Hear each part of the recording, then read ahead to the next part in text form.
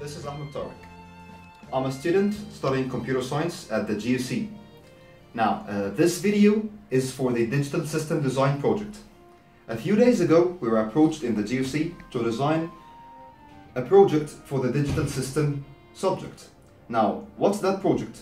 The project is to be made on an Altera board and the idea is to be ours, completely ours, from scratch. So, we thought to ourselves, what should we do? And more importantly, how should we do it? The first thought that struck our heads was that all of us as children have played Simon Says at least once, and we've all utilized it to enhance our memory skills and increase our IQ level.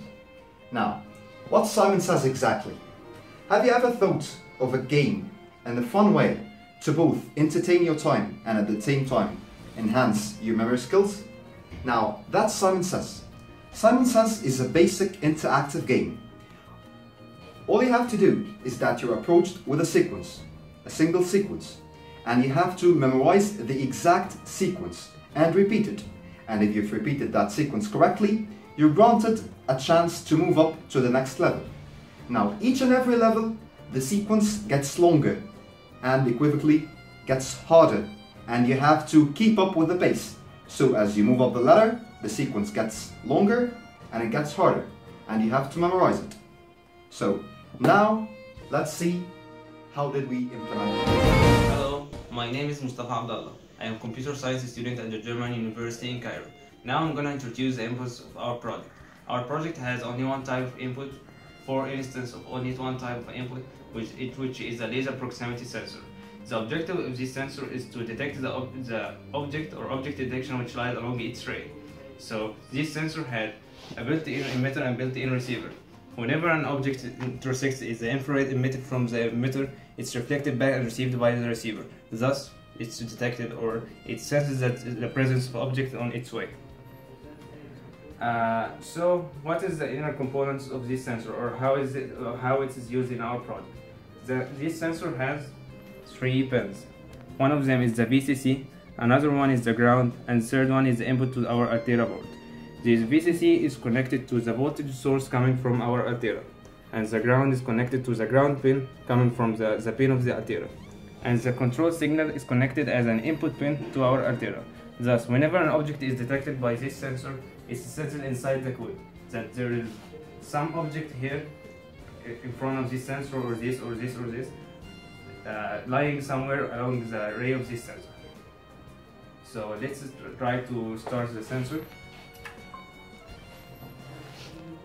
Now, this sensor, this sensor has an additional flash, red flashlight which indica indicates the presence of an object on its way.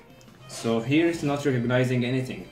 The flashlight on the right is not indicating the presence of an object. So if I put my hand here, this flashlight indicates that, that there is an object on, along its way. So now it's not detecting an object, now it's detecting an object. So whenever an object lies or my hand or whatever lies on its on its way, it sends this signal through the last pin to our Altera board or our Verilog code as an input that there is something which lies on the way of the, of the sensor. Hello, my name is Ahmed Soliman, 31-MET student. I will show you the outputs of our DSD project. We have seven LEDs, four LEDs for displaying uh, the sequence while playing, three LEDs, one for indicating wrong sequence, one for indicating correct sequence, and one for indicating that it's a player's turn. Each LED is connected to the breadboard with a transistor.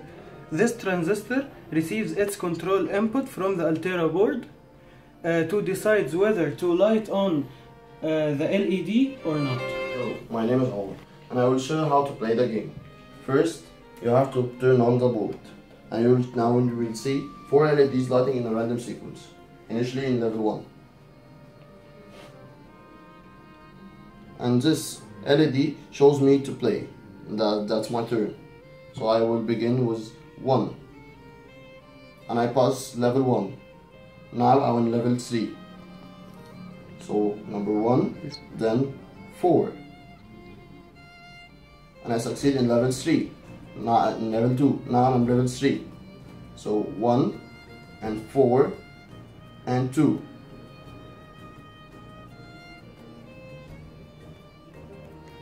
So that's my turn in level 4. 1, 2 and 3 and 4. Wrong. That's false. Wrong. I failed in level 4. Now I lost. Ahmed Kamel, a 31-MET student. My name is Ahmed Sari, 31-MET student. We will explain the software behind our project. In our software port, we have four modules. Uh, first module clock, clock generator that takes a clock of the, of the Altera and uh, as an input and produce an uh, or generate a, new clock of one hertz, uh, of one hertz uh, frequency.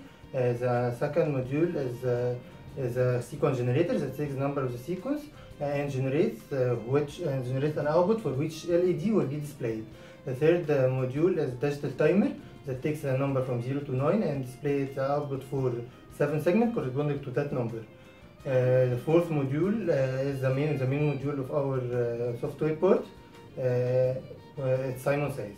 No, it's our top level module and uh, it contains everything else. It has as an output four outputs for the sensors and four outputs for LEDs that are used to display the sequence and three extra outputs for these uh, LEDs. Also we have three outputs for the seven segment. We have three always blocks Uh, so the first two uh, always blocks are corresponding to the uh, gain turn or the PC turn. Uh, the first uh, the first always block uh, is sensitive for uh, the, uh, the clock uh, the clock edge. Uh, in each clock, it uh, displays one of the LEDs uh, of from of the of the sequence using the module of generator of the sequence generator. Uh, the second uh, always block uh, that uh, is corresponding to the LED code that uh, uh, that have been out from the, the sequence generator and it, uh, it displayed to the LED uh, to the LED out. The third always block is uh, sensitive for the sensors. When it's the player's turn, the sensor, uh, this always block will uh, uh, will check which sensor was cut by uh, the player, which uh, sensor the player has cut its laser beam, and it will uh, see if it matches the sequence that was generated by uh, the computer. If it matches the sequence, the player will be promoted for the next level if he has finished this sequence. If not, if it didn't match the sequence, the red uh, LED will glow and the sequence will be repeated for the player to try it again. Okay, thank you.